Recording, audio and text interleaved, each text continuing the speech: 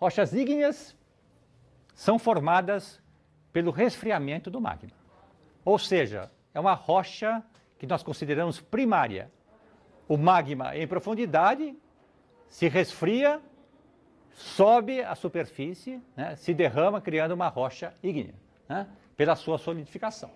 O magma é uma palavra grega que significa pasta ou massa, ou, ou massa, né, e ele contém uh, uma quantidade variável de gases voláteis. Vamos fazer aqui uma extrapolação.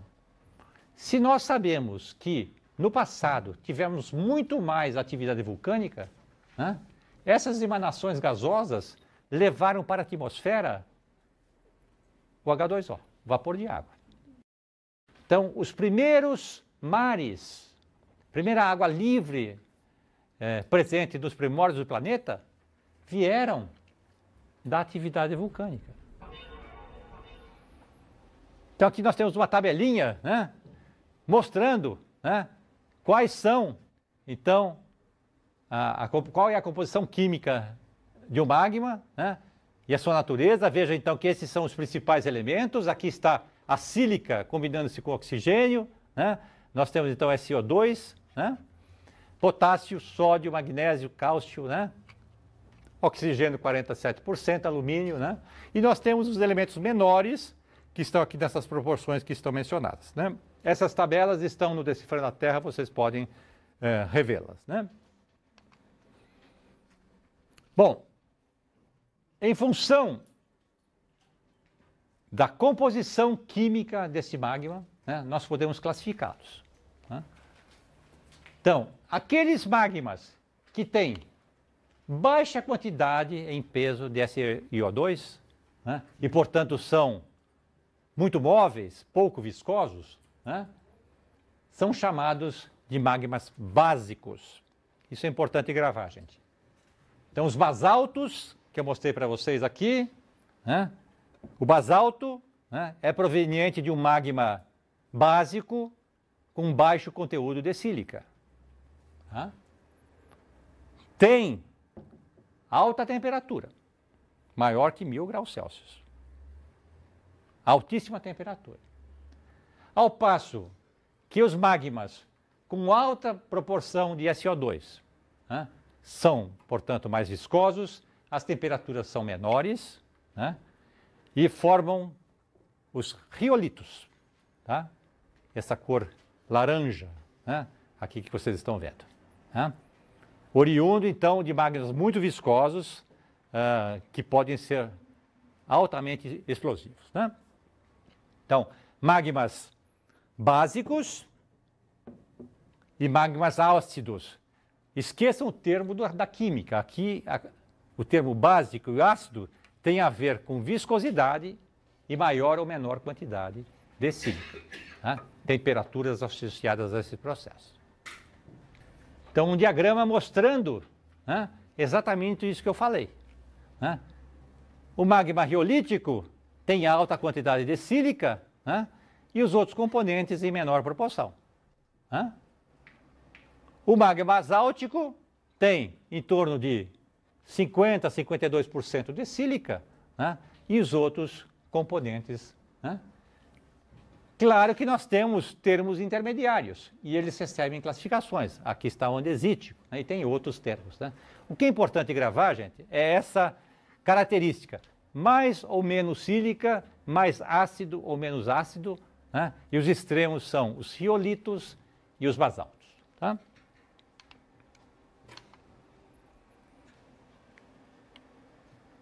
Esse gráfico sintetiza um pouco isso que eu estou dizendo. Né?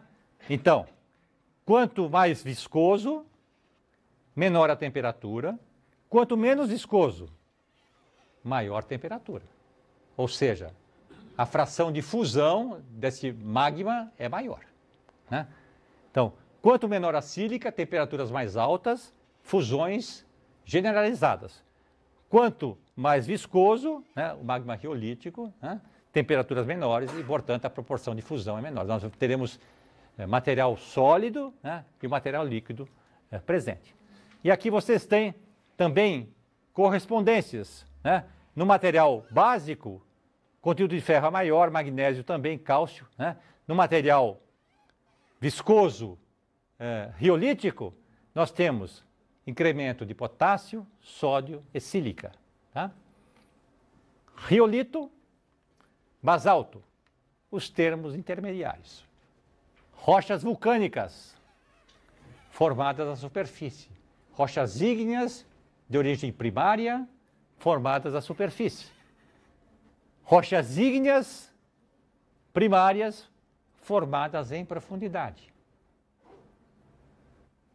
Rochas ígneas primárias formadas à superfície, rochas vulcânicas. Rochas ígneas primárias plutônicas formadas em profundidade na crosta.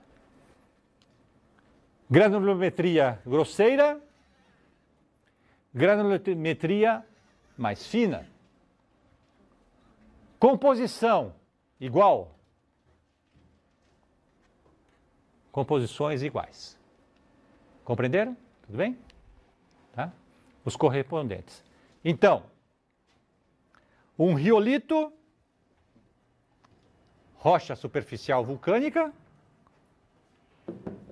um granito, mesma composição, rocha plutônica profunda. Um basalto, rocha fina, alta temperatura, formada em alta temperatura, baixo conteúdo de sílica, fusões generalizadas em superfície.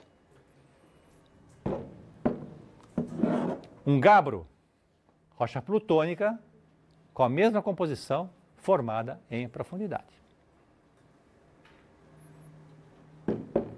E nós temos os termos intermediários entre um granito e um gabro, né? como esta aqui. Então agora vocês já estão preparados quando forem à praia, né? Seus namorados, namorados. Olha, isso aqui é um granito. Isso aqui é uma, esse aqui é um basalto. Olha que interessante, é uma vesícula, né? E assim por diante. Então vocês vão gastar aí uma, né? Não é mesmo? Eu estou numa praia, né? E ao olhar a areia, eu vejo muitos grãozinhos transparentes de sílica, o quartzo pode estar certo que os costões são de granito, tá? porque o granito é rico em sílica e, portanto, é dele que se derivou esse material que foi erodido que está na praia. Né? Se eu tiver, por exemplo, eh, uma, uma ilha vulcânica, por exemplo, novamente Havaí, basaltos, né? a praia vai ter sílica? Não vai ter sílica. As areias serão escuras de outros minerais, né? É, porque são os componentes principais desse, desse basalto. Né? É, possivelmente serão areias escuras. Né? Então, Fernando Noronha nós temos praias escuras, mas temos praias também que são associadas a, a, a vamos dizer assim, a, ao desgaste de conchas. Né? Então nós temos essa, essas areias é, associadas a conchas. Vamos voltar aqui ao basalto. O basalto, né, nós estamos nesta com baixa sílica. Nós teremos ferro, nós teremos magnésio, nós teremos cálcio e nós teremos pequenas quantidades de sílica, sódio e potássio. Tá? Voltando aqui um pouquinho mais. Né? Aqui, ó. Né? Então, nós teremos esses minerais, olha, ferro, magnésio, né? e outros, titânio nós teremos também, né? Nós teremos aqui poucas quantidades, é, ferro nós teremos bastante, mas nós teremos poucas quantidades de potássio, aqui está, né? sódio teremos um pouquinho, cálcio também, né? em vez dos minerais potássicos. Né? Já conhecemos o magma, já conhecemos as rochas plutônicas. Né? Vamos agora exercitar um pouquinho a origem desses, desses materiais, a origem dos magmas. Bom, a fonte principal dos magmas é profunda, é a astenosfera. Tá? É, não sei se vocês se recordam, né?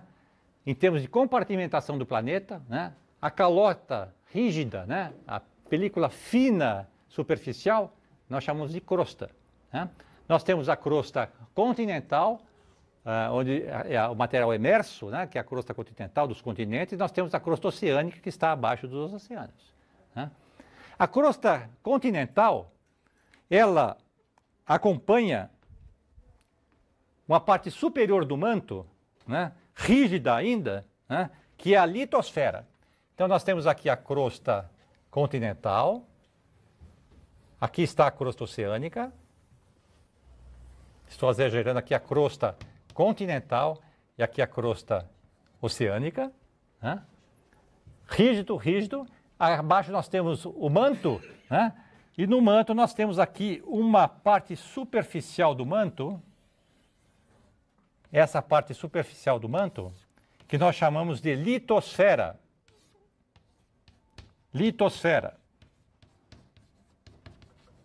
É a parte superior do manto. Né? É esse bloco rígido que compõe, que constitui as placas. Por isso nós chamamos placas litosféricas. São fragmentos sólidos que se movimentam por conta das correntes de convecção que acontecem em profundidade no manto. E esta zona superficial, abaixo da litosfera, nós chamamos de astenosfera.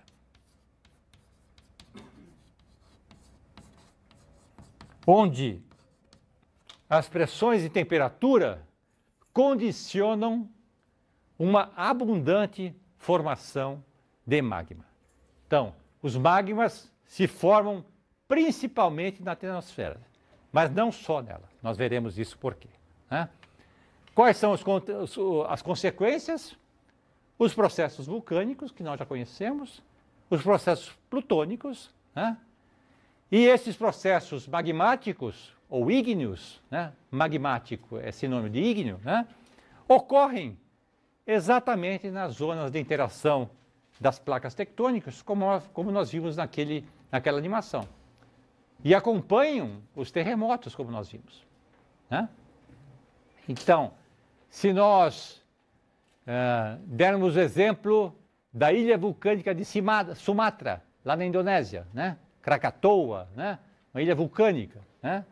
marginal a essa ilha vulcânica, nós temos grande intensidade de terremotos, inclusive maremotos, né? maremotos históricos, né? que dizimaram né? A ilha de Sumatra, né? é, é, associados então à subducção da placa. Né? Então, sintetizando, nós temos crosta continental em verde, crosta oceânica com esse tom claro. E nós temos o manto terrestre. E aqui está a astenosfera, né, onde forma-se a maioria uh, dos magmas. Né? Isso é, vamos dizer assim, refletido pelas ondas sísmicas. Existe uma, uma, importante, uma importante diferença nas ondas, na velocidade das ondas sísmicas nessa interface entre a astenosfera e a litosfera. Isso significa início de fusão né, é, das rochas. Né. Nós temos, então, à direita, o que nós chamamos uma divisão geodinâmica, né, e nós temos aqui, à esquerda, o que nós chamamos de divisão geoquímica, manto inferior, manto superior, né, as profundidades, 400 quilômetros é aproximadamente a profundidade em que na, na astenosfera acontecem é, as fusões é, da rocha presente no manto superior. Aqui vocês têm também as dimensões dos vários envelopes. Crosta oceânica, 5 a 10 quilômetros de espessura. Crosta continental, 30 a 100 quilômetros. Opa! Se eu tenho equilíbrio entre crosta oceânica e crosta continental, com espessuras muito diferentes, qual a razão disso? Densidade. Densidade tem a ver com o quê? Em termos de rocha. Volume, mas composição química. Tá? Se eu tenho 5 a 10 quilômetros na crosta oceânica, ela é mais fininha, ela é mais densa, concorda? Em relação à crosta continental. Se ela é mais densa, eu vou ter um elemento químico potássio que é leve, em grande quantidade, eu vou ter ferro. Vou ter ferro, vou ter magnésio e assim por diante. Né? Então, essa crosta oceânica, com muito ferro, com muito magnésio, titânio, etc., baixo conteúdo de sílica, né? é basalto. É oriundo de vulcanismo com baixo teor de sílica que formou a crosta oceânica do planeta. Por outro lado, continente espesso, menos denso. Vou ter muita sílica, potássio, rubídio, né? elementos com menor densidade, para dar o equilíbrio de tensões. Né? Vai ser formado de magmas ácidos, com alta sílica. Né? Não é tão simples assim, porque nós temos a tectônica de placas, que vai modificando paulatinamente essa crosta continental. Né? A crosta oceânica, quando ela desce e funde-se aqui no manto, né, ela vai se incorporar esse magma na crosta continental, modificando lentamente a sua composição na escala de milhões de anos. Então a crosta primitiva ela era muito mais máfica há bilhões de anos e hoje ela é muito mais ácida, mais continental. Os continentes estão crescendo. Bom, agora então a gente já conhece né, essa arquitetura belíssima atual do nosso planeta. Mostrei para vocês ah, a visão zen, né, os continentes dançando né, no início da aula. Né? Continentes. Crosta continental. Certo? Oceanos. Né? aliás, abaixo dos oceanos, né? a crosta oceânica abaixo dos oceanos. Agora, eu vejo aqui também, morfologicamente, é, feições é, espetaculares, como que uma costela, né? ou costelas, né? o oceano está marcado por sistemas que são cordilheiras mesoceânicas, existe um vale central de onde continuamente é expelido lava, basalto. Tá? Num dos primeiros animações que eu mostrei para vocês duas aulas atrás, ou três aulas atrás, o filme da BBC, o professor lá estava da Islândia mostrando um vale exposto em superfície, né? Esse vale exposto de superfície é igualzinho que existe em profundidade, a milhares de metros de profundidade. É o centro da cadeia mesoceânica, por onde as lavas estão subindo, se cristalizando como basaltos, né? ou seja, está havendo expansão do fundo oceânico. Expansão do fundo oceânico. É, a razão de 2 centímetros, 4 centímetros, no caso dessa placa, do limite dessa placa da América do Sul. Ora, se eu estou tendo expansão aqui, criação de assoalho, em outros lugares eu vou ter que ter consumo. Hã? Então, eu tenho consumo em todo esse local. A placa pacífica está entrando por baixo aqui do Japão e outras ilhas. Ao entrar por baixo, funde-se, criamos então vulcões. É por isso que essas ilhas são todas vulcânicas, né? Nós temos alguns casos particulares que são vulcanismos pontuais, né, alinhados, como aqui. Ó. Tá? Na verdade, esse tipo de vulcanismo muito especial, que acontece no meio de uma placa, significa que nós tínhamos um ponto quente de grande profundidade, levando magma à superfície, e que rompe a placa à medida que ela se movimenta para o oeste. Né? Aqui está as ilhas do Havaí. Né? Aqui está Fernando de Noronha, que é uma antiga também é, hotspot, ou ponto quente, como nós chamamos, que é esse fenômeno vulcânico que acontece periodicamente no meio de uma placa. Então, existe aqui uma sucessão de vulcões submersos, dormentes, já não não são ativos mais, né? que se alinham aqui com Fernando Noronha. Fernando Noronha é uma ilha vulcânica. Né? E assim vai. Né? Nós podemos ter também atividade vulcânica no meio de placas continentais. Aqui neste vale do leste africano estão uma série de vulcões gigantes, Kilimanjaro, terra do Tarzan. Lembra-se? Né? Então, é, esta região é uma região que está abrindo, como aqui. Daqui alguns milhões de anos, teremos um oceano aqui, né? criando assoalho vulcânico também. Né? É assim que a Terra se transforma. É assim que o nosso planeta se transforma. No passado, nós temos vários exemplos disso. Né? Um dos exemplos está aqui na região sudeste brasileira, né? Poços de Caldas, né? é, Itatiaia, Cabo Frio, São Sebastião, são restos de cones vulcânicos né? de cerca de 60, 70 milhões de anos, né? que hoje são sítios para lua de mel, Poços de Caldas, né? né? Itatiaia para alpinistas, né? São Sebastião para o lazer aí dos paulistas. Nós podemos ter então os hotspots, basta você ter essa atividade central profunda vinda da base do manto. É, essa é a interpretação que o pessoal faz, né? Esse material, à medida que a placa se desloca, nós teremos então atividade hotspot. No passado ou no presente. No presente, Havaí. No passado, Fernando Noronha, Itatiaia e outros. Nós temos um caso particular que está lá no norte. Aqui está a ruptura da placa, né, onde o material está entrando e criando e separando aqui, né? E nós temos lá no norte do Atlântico Norte o caso da Islândia, que é um hotspot exatamente no local em que está havendo a divergência, a ruptura. Né? Mas não é ele que está causando a ruptura. A ruptura é um processo muito maior, né?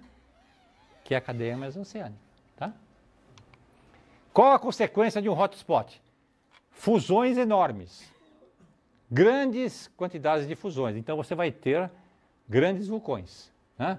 Você se recorda no ano passado, né, o vulcão Laki, né, que ao entrar em atividade lá no, no, na Islândia, né, interrompeu o, o, tráfego aéreo né, a, a, eh, na Inglaterra, né, na Europa do Norte, né, porque os ventos carregam as, as cinzas e com isso nós temos então essa atividade vulcânica. Né? Então nós podemos ter vulcanismos em áreas divergentes, nós podemos ter vulcanismo, eh, magmatismo, perdão, magma, formado quando a placa desce sobre o continente. Né? Olha a litosfera aqui, crosta oceânica, fusões, né? porque aumenta-se a pressão e a temperatura, e aí nós temos a fusão de parte da placa. Né?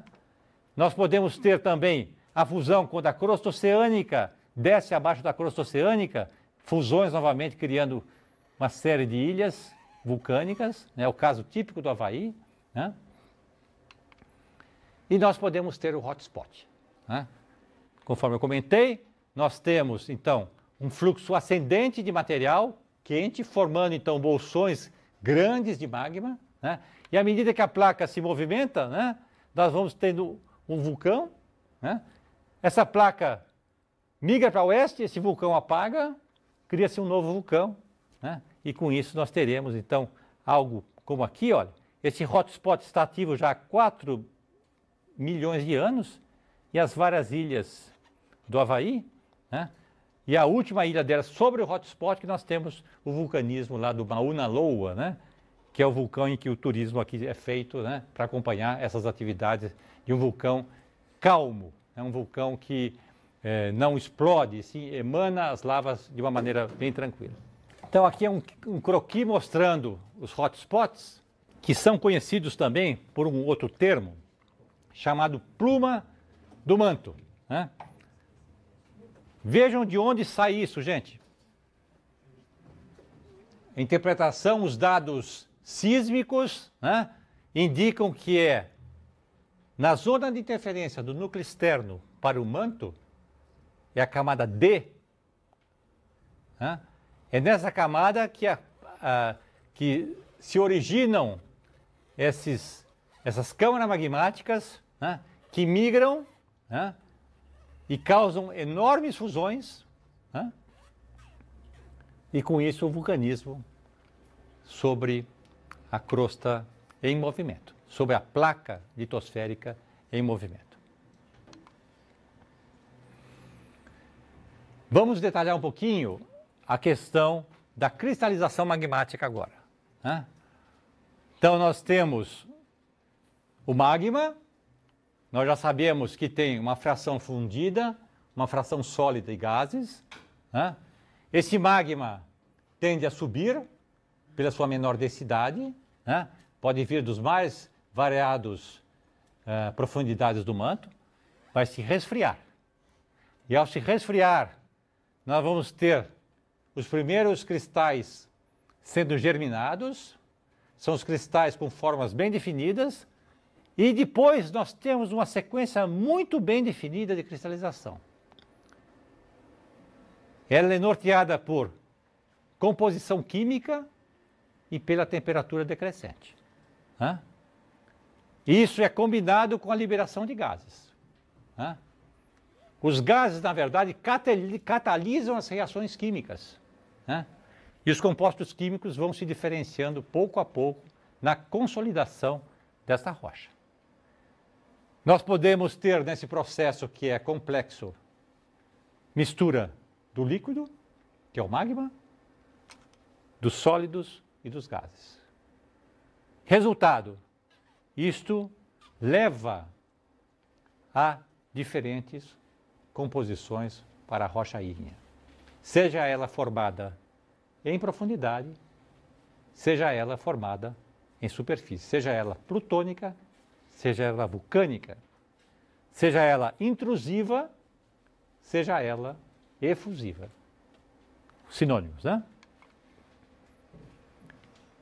Essa sequência muito é, particular né, é, da cristalização do magma recebe o um nome, foi estudado por Bowen, é a série de reação de Bowen. Claro, vai depender da taxa de resfriamento né, e vai depender dessa interação entre minerais previamente formados e os líquidos que estão ali presentes na câmara magmática. Esse líquido vai reagir com esses minerais, vai gradativamente mudando a composição. Esta é a série de cristalização de Bowen que está registrada no Decifrando a Terra. Né? Então, nós podemos ter magmas basálticos, menor quantidade de sílica, magmas é, ácidos, né? aqui no caso granítico, né? com sílica maior que 66%. Já comentei com vocês que isso aqui é mais viscoso, do que isto. Isto pode ser mais explosivo do que isto. Temperaturas de 1000 graus Celsius, temperatura de 700, 800 graus. Esta é a sequência de minerais que são formados. Na verdade, os nomes aqui não são importantes nesse momento. O importante é mencionar que nós temos minerais ferromagnesianos, né? Temperaturas altas, hein? Mil graus Celsius. Formam esses minerais que se equilibram, se cristalizam em temperaturas elevadas. Quando a temperatura decresce a um determinado nível, nós começamos a formar esses minerais com cálcio, mais cálcio do que sódio, né? e aí nós temos a combinação, né? vai começando a ter mais sódio do que cálcio, a composição diferente, vai mudando, né? Com a interação com o líquido, né? Feldspatos potássicos, né? Muscovita, que é uma mica, já fizeram minerais, conheceram a muscovita, né? E o último mineral a se cristalizar é o quartzo. Eventualmente, o quartzo não se cristaliza. Se nós tivermos um material basáltico, eventualmente a sílica presente é tão pouca que não vai gerar o quartzo. Tá? Agora, um granito vai gerar quartzo. Nós teremos esse mineral muito presente. Né? O ortoclase é um mineral muito particular que tem essa cor rósea. Essa rocha é muito especial porque o, o feldspato potássico, né? esse grande cristal róseo né? É, desse granito, né? É, está muito bem destacado. Muitas vezes ele não está tão grande assim, né? como nesta rocha, né? mas de todo modo, este é o feldspato potássico. Se a gente olhar com cuidado, nós vamos ver aqui um mineral vítreo que preenche os interstícios da matriz, né? claro, é o último a se cristalizar, é o quartzo. Tá? Então, é, é, assim que a gente trabalha de uma maneira expedita né, na classificação ah, das rochas. Sejam rochas ígneas, sejam rochas sedimentares. Então, cristalização a alta temperatura, nós teremos minerais mais densos que são de alta temperatura, e à medida que nós decrescemos a temperatura, nós temos variações da composição química dos minerais né, e, finalmente, a formação do quartzo. É o que eu estava comentando. Uma câmara magnética qualquer, em qualquer profundidade, né, eu vou inicialmente cristalizar os primeiros minerais e esse líquido residual mais os gases vão interagir com isso aqui e vão gradativamente formar outros minerais. Né? E finalmente nós temos um resto de líquido com grande concentração de gases. E nesse momento, esses, isso funciona como uma ejeção. Esse material se injeta na crosta, né? forma bolsões mais para cima. Normalmente, as temperaturas menores, presença de quartzo abundante, e nós formamos aquelas bonitas formas de quartzo, né? angulares que nós conhecemos. Né? Nós formamos aqui também cristais avantajados, muitas vezes métricos, volumétricos, grandes, né? que são as rochas pegmatíticas, economicamente muito, importantes, porque é dali que sai a fluorita, né? que é usada na, na indústria aí para, dentifrícios e, e outros é, componentes, né? É, e aí vai, né? Então, aliás, todas, né, toda a medicina que é utilizada pela humanidade hoje vem das rochas. Sejam rochas ígneas, sejam rochas metamórficas, sejam rochas sedimentares. Né? Os metais também vêm, né? uh, se precipitam, se concentram em determinados locais né? e, portanto, são explorados. Né? Então, os minerais comuns das rochas ígneas são esses, né? conforme nós vimos na série de reação de Bowen, temperaturas altas, temperaturas de 700 graus.